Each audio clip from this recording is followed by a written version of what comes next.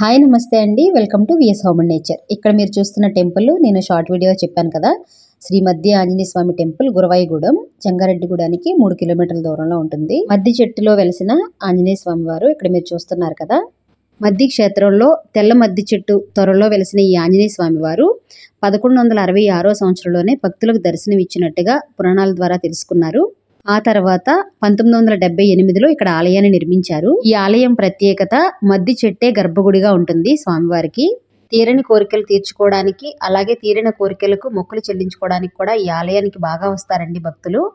ముందుగా ఇరవై ఒక్క ప్రదక్షిణలు చేసి స్వామివారిని వాళ్ళ మనసులో ఉన్న కోరికను అడుగుతారు. ఆ కోరిక తీరిన తర్వాత నూట ఎనిమిది ప్రదక్షిణలు చేసి ఆ మొక్కును తీర్చుకుంటారు. వెళ్ళేటప్పటికి టెంపుల్ మధ్యాహ్నం క్లోజ్ అయిందండి. మూడు గంటలకు ఓపెన్ చేస్తారు. సో అందరూ వెయిట్ చేస్తున్నారనమాట స్వామివారి దర్శనం కోసం. టెంపుల్ చూశారు కదా ఇప్పుడు చాలా పెద్దగా కన్స్ట్రక్షన్ చేశారు. అలా రోజు రోజుకి డెవలప్ చేస్తూ ఉన్నారు. చాలా బాగుంటుంది. ఇక్కడ నిత్యాన్నదానం కూడా జరుగుతుందండి. ఎంత దూరం నుంచి వచ్చిన వాళ్ళైనా చిన్నపిల్లలతో వచ్చినా సరే ఎటువంటి ఇబ్బంది ఉండదన్నమాట. ఇక్కడ చూస్తున్నారు కదా ఇది మెయిన్ స్వామివారి ఆలయం.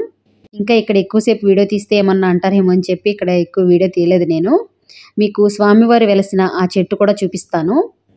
ఇక్కడ చూస్తున్నారు కదా మధ్య చెట్టు ఇదే అనమాట గర్భగుడి లోపల నుంచి ఈ చెట్టు ఇలా బయటకు వచ్చింది అంటే ఆ ప్లేస్ అలా వదిలేశారనమాట అక్కడ క్లోజ్ చేయకుండా ఓపెన్గా ఉంటుంది. పైనుంచి చెట్టు ఇలా బయటకు వచ్చింది చూస్తున్నారు కదా? చెట్టు లోపల నుంచి ఇలా బయటకు ఉంది సో ఈ ఆలయం యొక్క ప్రత్యేకత అండి అది. మధ్య చెట్టు దగ్గర స్వామివారు వెలిశారు కాబట్టి దాన్ని అలాగే ఉంచేశారనమాట చుట్టూ ఇలా ప్రదక్షిణ చేయడానికి ఇదంతా ప్లేస్. అప్పటికి ఇంకా డోర్స్ ఓపెన్ చేయలేదు. చేసిన తర్వాత ఇంక నేను దర్శనానికి వెళ్ళిపోయాను. ఇక్కడ మీరు చూస్తున్నారు కదా? ఇది వెంకటేశ్వర స్వామి ఆలయం. ఇక్కడ కూడా దర్శనం చేసుకొని ఆంజనేయ స్వామి వారిని కూడా దర్శనం చేసుకొని వెళ్ళొచ్చు అనమాట ఇక్కడికి వస్తే ఈ ఆలయం మాకు ఏలూరు నుంచి యాభై కిలోమీటర్లు రాజమండ్రి నుంచి డెబ్బై కిలోమీటర్లు వస్తుందండి. ఈ చుట్టుపక్కల వాళ్ళకి చాలామందికి ఈ ఆలయం తెలుసు చాలా ఫేమస్ టెంపుల్ అనమాట ఎవరైనా తెలియని వాళ్ళు ఉంటే మాత్రం ఇటువైపు వచ్చినప్పుడు ఒకసారి విజిట్ చేయండి చాలా బాగుంటుంది టెంపుల్ అయితే. చాలా ప్రశాంతమైన వాతావరణం ఉంటుంది. ఇక్కడంతా భక్తులు కూర్చోడానికి ఇలా మండపాలు లాగా ఏర్పాటు చేశారు చూస్తున్నారు కదా.